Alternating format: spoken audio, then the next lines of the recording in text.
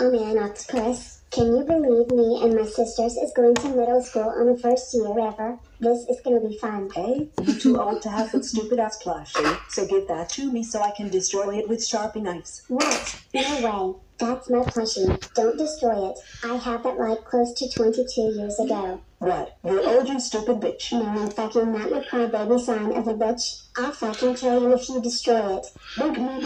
Buttercup, I don't like your bad language coming out of your mouth. If you do that on the first day, you're grounded. Okay, fine. That's my girl. Alright, girls, have fun on your first day. So keep an eye on Buttercup so she doesn't do any bad or sexual. Okay. Okay, Professor.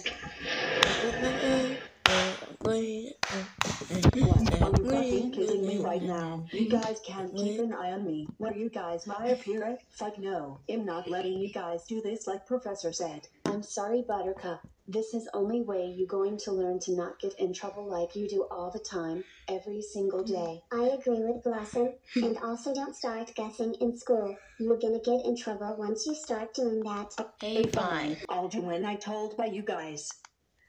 Okay, that's good, Buttercup. Let's get inside what class we gonna be in this year.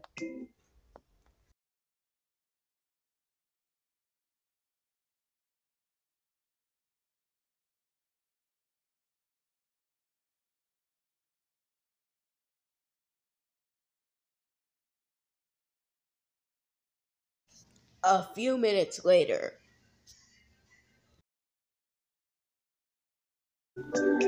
Finally, you guys, we're finally in sixth grade. No more baby stuff for us. Yeah, it's a good thing I have my stuffed animal for me still. Not just grow the hell up already. We are in middle school now. You can't keep having a stuffed animal since you have it for close to 22 years. Besides, we never grew up because we were in the real cartoon, which is very classic years in our lives. And I wish your stuffed animal died for nothing. Buttercup, we talked about this. Don't start with this attitude. If you keep doing that, you're grounded when we get home. Bubbles was right. Don't talk smack to anyone in this school, or you're grounded after our first day of school. Got that? Okay, okay, okay, fine. That's better.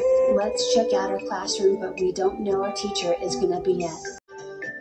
Wow, you guys, this looks fashion. And look at those desks. These are cool. And look at the chalkboard. Isn't this awesome? Wow, that looks clean and awesome. Myron, wait and see. I'm going to write that hole on this board. Buttercup, what did I just say? Sorry. Saying sorry to us is gonna get way worse, okay? Okay, anyways, look at all the seats.